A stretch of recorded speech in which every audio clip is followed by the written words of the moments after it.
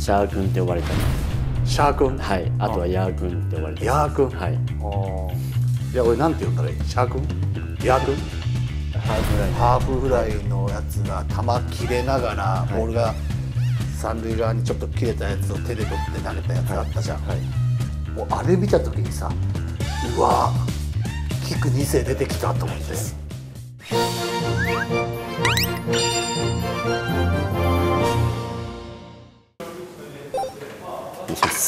ます知って言ってくれる？はい。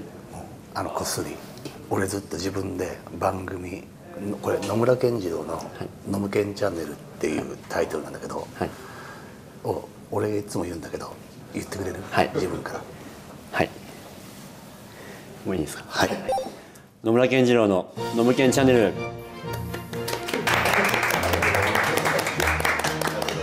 タイトルね、はい。人が言ったの初めてだから。あ本当ですか？う大丈夫です。んいいね。ありがとうございます。お願いします。えーっと矢野選手ですが普段ニックネームは何て言われてるの？まあシャーシャー君とか。シャー君？はい。シャー君、はい。えなんかあれじゃん。24年度の。あそうですね。え自分から来たの？あれいやいや違う違うんですけど、シャー君って呼ばれたり。シャー君？はい。あとはヤー君って呼ばれたり。ヤー君？はい。じゃあ俺なんて呼んだらいい？シャー君？ヤー君？シャー君はちょっともうみんな呼んでるんで、ヤー君がキクさんだけなんで。あ聞くだけヤー君なのはい。じゃあシャー君にしよう。はいお願いします。じゃあ皆さんで統一してシャー君。はいお願いします。シャー君はえーっと今2年目？今年3年目終わりました3年目終わったの、はい。3年経つの？はい。3年経つか。今シーズンの自分の点数今年自分は何点だったなっていうの。10点中。いや100点中。100点中で。うん分かりまし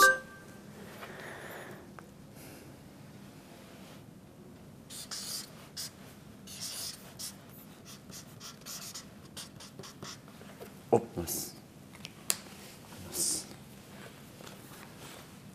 55点です。おお55点。はい。55点っていうのは？まあ、守備走塁、まあ、あとバントとかそのチームに対する貢献度っていうのは、自分的には、まあ、その自分らしさの自分らしさが出た試合も多かったですし、まあ、そのチームに貢献するできできたことも多かったんですけど、まあ、個人としてのバッティング面で、まあ、かなりそのチームに対する足を引っ張ったバッティングが多かったかなっていう自分の中で、俺さはい。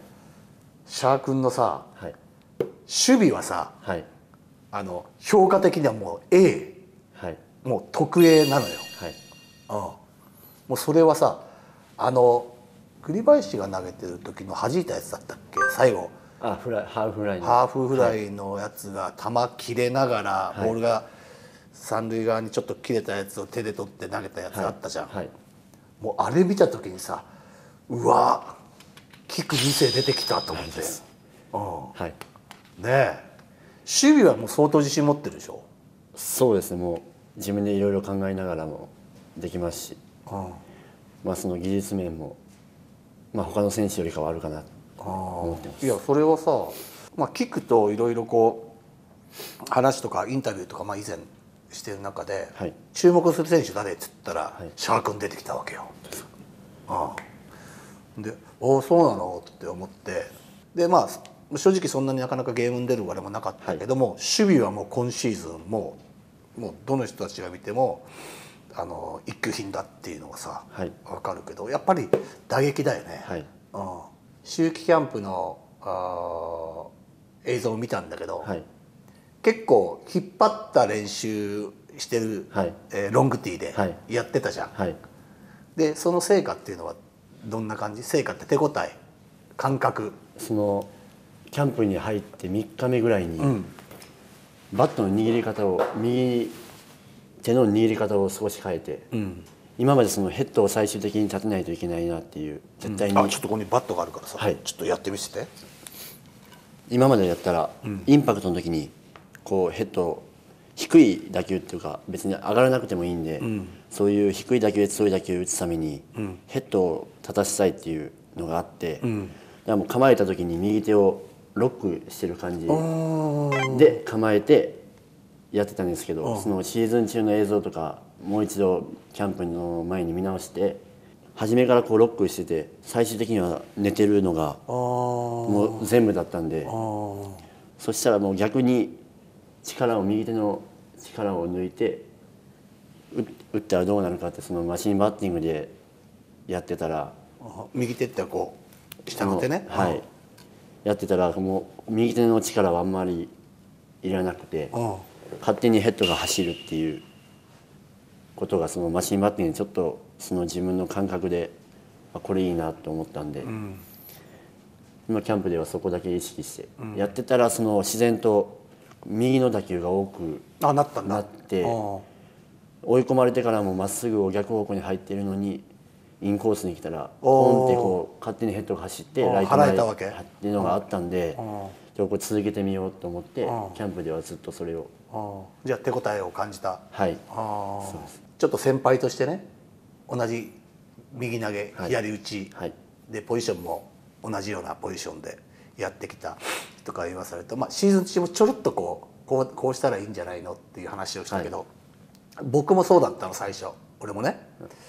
あのとにかくスピードを生かすためにはい。入団して1年目ぐらいとか2年目ぐらいかな。はい。コーチに「もうショートゴロ打て」と。はい。でショートゴロ打ってあのフライを上げるなと。はい。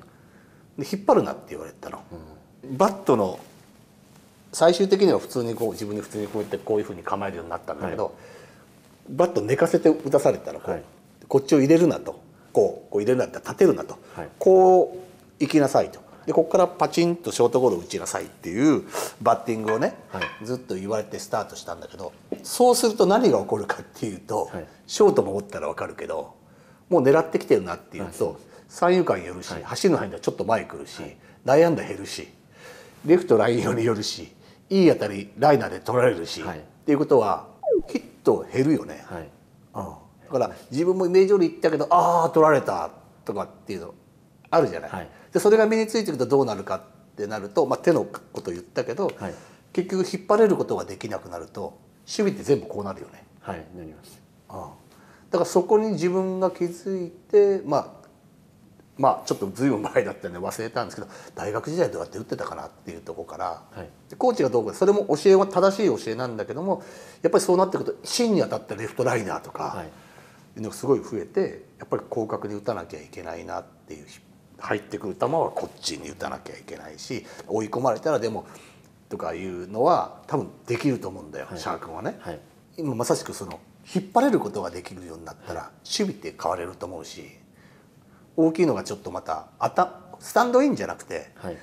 えー宇宙間ライト線とかっていうのが打てるようになれば必ず俺率って上がると思うね。そうです。うん、だから向こうばっかりっていうタイプ的に自分がそういうタイプだからっていうことの考え方がすごく強かったのかなって勝手にね。はい。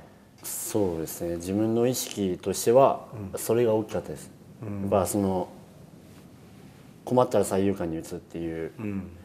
のがあったんでやっぱ引っ張れないっていう自分の課題でもありましたし、まあその高校大学って積み重ねてきたことがやっぱ逆方向だったんで、うん。まあ、それがプロに入っても、まあ、自分今までそれでやっぱ成功してきたっていうのがあったんで、学生時代はね。はい、うん。やっぱどうしてもそのこれをやっとけば大丈夫っていうのが自分の中にあうん。あってしまって、まあ、そこがちょっとその率が残ら残らなかったことがうん。原因かなと思います。うん。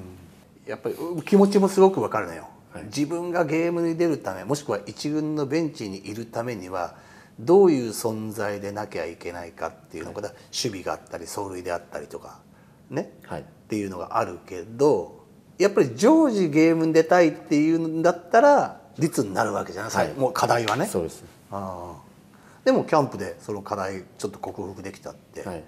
いうのはどそうですね。その手首を変えてからいきなりこう引っ張ポンって打ってたんで,、でその次の日ぐらいにもフォークボールをかかったやつがライトオーバーになったりっていうのがあったんでキャンプ中なんですけどそのジャ侍ジャパンとやらせていただいた時もま、っすぐが全然怖くなかったっていうか今までそのシーズン中だったら追い込まれたらまっすぐの遅れて三振っていうのが多かったんですけど、追い込まれてからのまっすぐも怖くななくなったっていうか、ちょっとそこ自分で感じたんで、まあとにかくねあの師匠であるはい。キックがさ、はい。まあすごく推してるからさ、はい。頑張ってほしいなと思うしチームとしてもやっぱりどんどんどんどんそのうん守備があるから入ってきての打撃とか、守備そ、えー走塁があってからの打撃とか、はい。い、ろんな入り方が逆もあるんだろうけどもやっぱり守備っていうのは大きな武器だから、はい。うん。これからの目標ってなるとやっぱもうどうレギュラーもうシショート行きたいとかショート。そうですねもう最終的にはレギュラー、まあ、ショートでレギュラーを取って、であとはもう今までだったら試合にスタメン出て、2打席で途中で変えられてっていう、まあ、その守備固めを出されたりすると、やっぱ途中で変え変わる選手ってやっぱレギュラーではないと思ってるんで、やっぱその1年間通じて最後までグラウンドに立ってるっていうのが理想だと思うんで、まあ、そこを目指していきたいなと思います。なんかさずっとさ真面目な話ばっかりしてるんだけど、はい。シャー君のキャラってそうじゃないって俺知ってるかいらやいやいや。ね、本当に。うん、秋に首位打者おい 首位打者はい。首位打者取ってんの？は新井監督ってシャー君から見てどういう？い、自分が思ったことも言えるというか、本当に話も聞いてくださるので、いい監督だなと思います。シャー君そこで笑っちゃダメなんですすいません。